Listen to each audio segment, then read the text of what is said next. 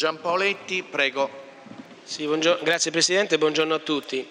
Eh, questa interrogazione eh, riguarda il discorso della viabilità in via Puccini. Come ben tutti noi sappiamo, l'ospedale sito in Viale della Vittoria nella settimana precedente eh, è stato chiuso e, sta, sono stati trasferiti tutti i reparti, pronto soccorso e tutto quanto l'iter eh, su al carro urbani.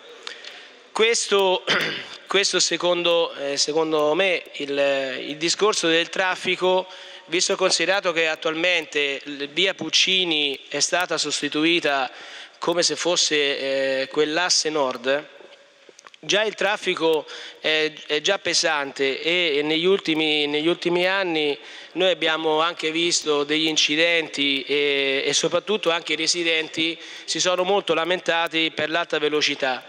La precedente amministrazione aveva già